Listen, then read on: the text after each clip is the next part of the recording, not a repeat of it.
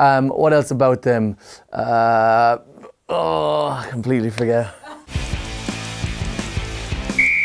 So Ireland's next World Cup game is up against Russia. What can I tell you about Russia in 60 seconds? Well, for starters, they're the third lowest ranked team at the World Cup after Canada and Namibia, but that doesn't mean you should underestimate them. They're really good athletes and rugby players. I've actually played against three of them with the Russian Sevens, the two centres, Golosnitskiy and Galinovskiy, and the winger Davidov all really, really good players, just like their fullback and captain, Vasily Artemyev, who funnily enough went to Blackrock College and UCD and has an unbelievable moustache, so watch out for him, really good player.